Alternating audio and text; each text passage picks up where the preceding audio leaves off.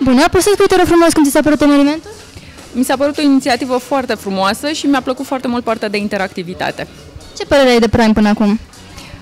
Mi este cunoscută asociația de câțiva ani de zile, mi se pare un, un lucru foarte bun la nivel de Brașov, pentru că mi-aș dori să încurajeze studenții de la PR și comunicare să fie mult mai activi și să rămână în zona aceasta și chiar în Brașov.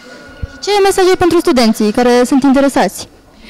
Mi-ar plăcea ca studenții, pe lângă partea teoretică pe care o învață la cursuri, să se implice activ fie în viața organizațiilor, fie în viața companiilor, prin internship-uri sau prin voluntariat. Cum ți s-a părut evenimentul? Mi s-a părut foarte creativ, îmi place că am învățat un joc nou astăzi, îmi place că am cunoscut oameni foarte faine și în special îmi place că am văzut studenți, deci tineret.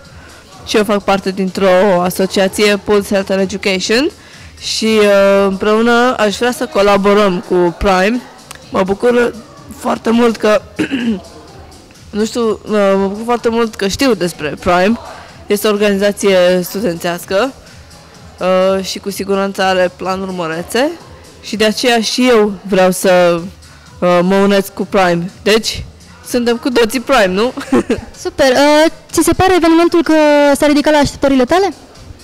Uh, sincer, nu am avut uh, nicio așteptare. Eu am uh, știu de eveniment și eu tocmai vin de la un eveniment. Uh, am zis, hai să văd ce e aici, să iau pulsul.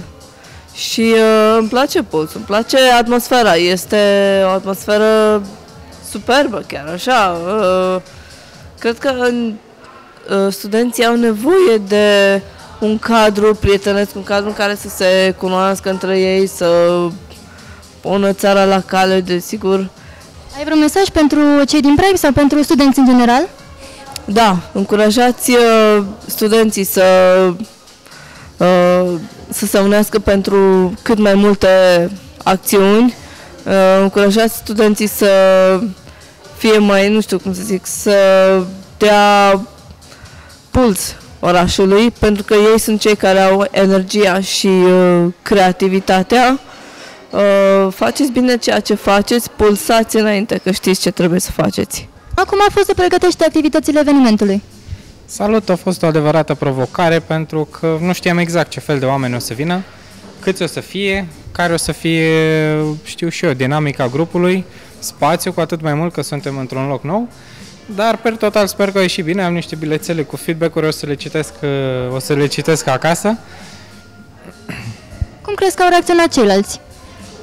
La fel, o să vedem în acele bilețele. Am văzut, am simțit uh, ceva strângeri de mână ca de la ușă, deci destul de puternice. Uh, per total, eu zic că a ieșit bine. L aștept pe următorul.